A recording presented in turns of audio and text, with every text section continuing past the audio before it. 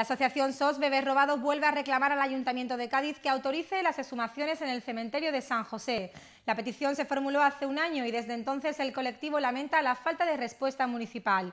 149 familias de las 400 que hay afectadas en la provincia por el supuesto caso de bebés robados forma parte de esta asociación. La presidenta Chari Herrera se ha reunido esta mañana con la fiscal jefe de la Fiscalía Provincial de Cádiz y también con responsables del ayuntamiento, además del gerente del cementerio gaditano y el arqueólogo municipal. La asociación volvió a reunirse el pasado mes de octubre con los responsables del ayuntamiento, quienes explicaron a las familias afectadas que la situación era muy difícil.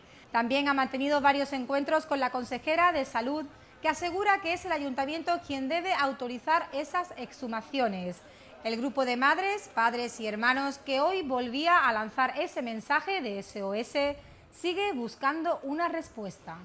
Durante estos años me imagino que ha sido una lucha dolorosa y con ganas de saber la verdad. Eh, yo siempre, vamos, a mí me dijeron que había muerto, me lo creí, porque yo lo que tenía era 21 años, me lo creí.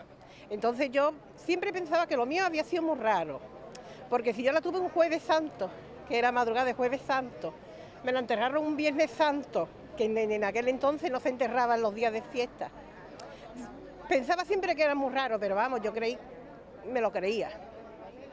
Pero ya cuando empezó a salir los movimientos de los que sí los niños, que los niños, para mí fue horroroso.